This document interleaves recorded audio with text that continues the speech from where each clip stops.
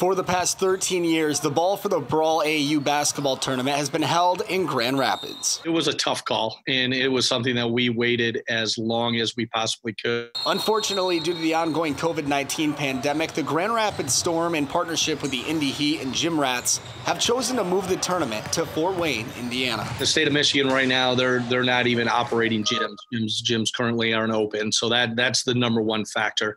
Um, we had hoped July 4th we were going to get into the next next phase where gyms would be open and we were kind of hopeful that we would slowly be emerging into small group capacities. The tournament had a record 242 teams last year, all ranging from fourth grade to 17U. And with so many families coming into Grand Rapids, it was a huge boost for the local economy. Economic impact is basically 1.5 million is what, what we're coming up with as far as numbers go. Probably about a million as far as hotel and entertainment. Despite the current situation with the pandemic, more than 260 teams were hoping to attend this weekend. But organizers are now capping the tournament at 200 teams for everyone's safety. Allows for, you know, enough time in between games to get fans in and out of the gym, allows us the uh, proper social distancing and the use of courts, which is our number one thing too. We don't want to max out the number of courts in a facility. So Jarvis and Jimmy Jason Martin is the director of the Grand Rapids Storm and has been organizing the tournament since it started in 2007.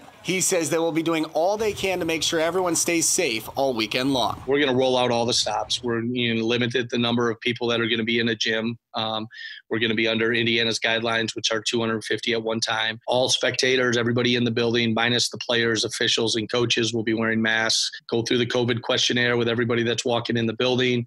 Um, our officials are going to be tested. It may not be happening here in West Michigan, but Martin is excited that the tournament can still go on. The talent level out there is going to be unbelievable. The number of Big Ten players or commits or recruits that'll be playing will be great. Um, so I think it'll be really good for us and for the kids. But no, it's going to be a little bit different. Games will begin Thursday night in Fort Wayne with the top 17 U teams starting it off. Zach Herrick, Fox 17 News.